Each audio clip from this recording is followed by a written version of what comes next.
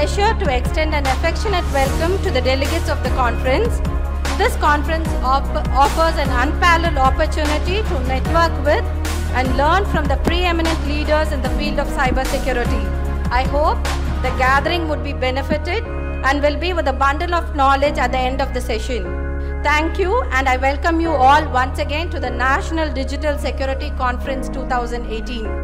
to be the chief guest of this National Digital Security Conference 2018 organized by the National Cyber Safety and Security Standards.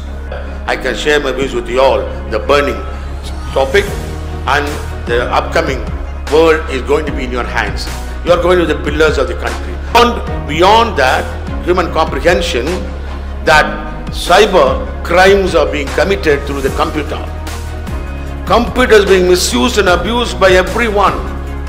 The experts, so-called experts, are misusing the computer. National threat, international threat is by the cyber crime now. What to do? You and I are not having enough freedom. Your cell phone, mobile is being tracked. Your whereabouts are being tracked by wherever you are through your computer, through your cell phone.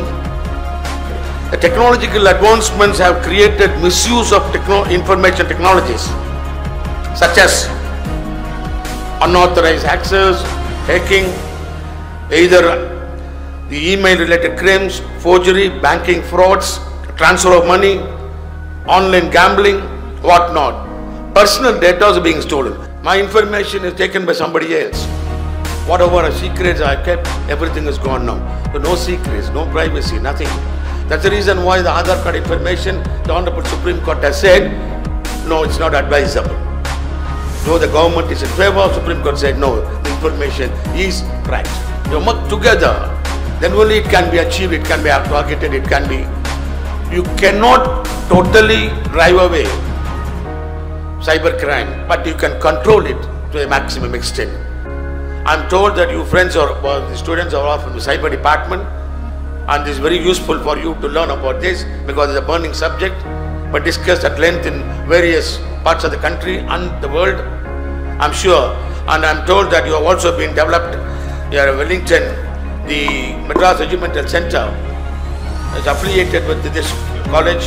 The interested students are KIT are trained by the officer cadre in the Indian Army. And also I'm glad to note that National Cyber Defense Research Center is also being started here. And these are all the development where you can make use of. Please friends, this conference definitely, all brains put together, work out a strategy, see what best you can do about it, and ultimately save the nation and the country and the world from being corrupted by the cybercrime. And your dean was very beautifully narrated the past events of the college. I find the record is so beautiful. Congratulations to you and the college. Wonderful college. I really appreciate the college doing wonderful, extremely well. One of going to be one of the best colleges in the country, and I'm sure you students will be benefited. Thank you very much. God bless.